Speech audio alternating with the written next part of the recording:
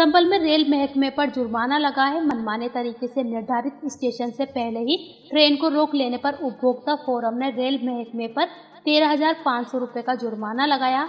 मामले का एक और खास पहलू है जिसमें बादी को मृत्यु उपरांत न्याय मिला है। पूरा मामला संबल जनपद के कस्बा चंदोसी का है, जहाँ अधिवक्ता श्यामलाल वर्ष 2020 में ट्रेन से चंदोसी से तत्कालीन इलाहाबाद गए थे। वापस भी ट्रेन से ही चंदोसी लौट रहे थे।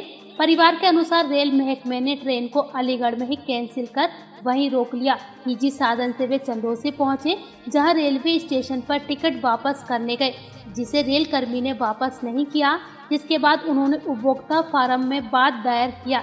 इस बीच कोरोना से उनकी मृत्यु हो गई।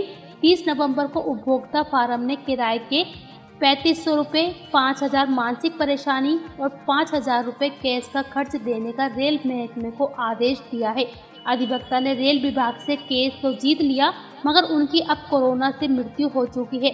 फैसला सुनने को वे मौजूद नहीं थे। श्यामलाल जी, जो व्यवसाय करते थे, वह अपनी तारीख करने के लिए एक मुकदमे में इलाहाबाद गए थे। इलाहाबाद से लौटते समय अलीगढ़ स्टेशन पर रेल विभाग ने उन्हें उतार दिया और ये कह दिया कि ट्रेन आगे चंडोसी की ओर नहीं जाएगी। उन्होंने उसको यात्रा अन्य साधनों से पूर्ण किया।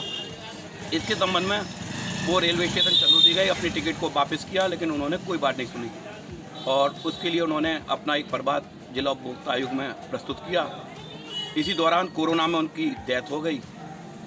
उपभोक्ता आयोग ने दोनों पक्षों को सुनने के बाद ये अपना निर्णय सुनाया कि पैंतीस सौ रुपये वह परिवाद बह के जहाँ से उन्होंने यात्रा किया यात्रा किया उसके तथा पाँच हज़ार रुपये मानसिक क्षतिपूर्ति और पाँच हज़ार रुपये मुकदमा लड़ाने के दो महीने के अंदर अदा करें। अदा न करने पर नौ परसेंट ब्याज उनके लिए दे होगा।